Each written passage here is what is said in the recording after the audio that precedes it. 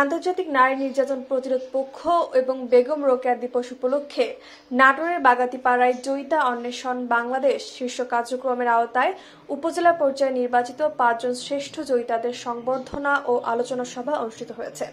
শুক্রবার সকালে মিলনায়তনে উপজেলা প্রশাসন ও মহিলা বিষয়ক অধিদপ্তর আয়োজনে জয়িতাদের সম্মাননা প্রদান করা হয়।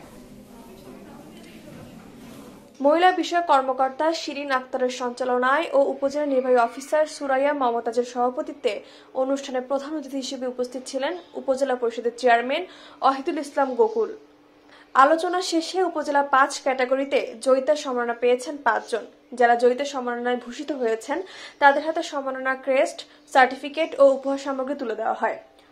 ডেস্ক রিপোর্ট, নয়া শতাব্দী।